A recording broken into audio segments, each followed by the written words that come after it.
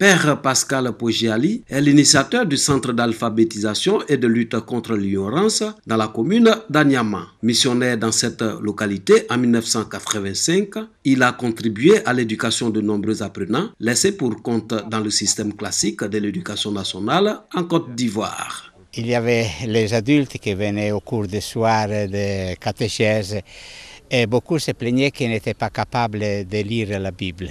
Et comme ça est l'idée. Et après, petit à petit, la chose s'est développée. La première classe se trouvait ici, dans ce bâtiment ici-bas. Il restait encore la phrase là-bas. Éduquer un enfant, c'est assurer le développement d'un pays. Et ça, parce que je crois à l'école. De 1985 à 2014, soit 25 années d'existence, le Centre d'alphabétisation et de lutte contre l'ignorance, CALCI, reçoit chaque année plus de 100 apprenants. Depuis quelques années, nous présentons des candidats libres au CEP. 2012, 9 candidats admis sur 9.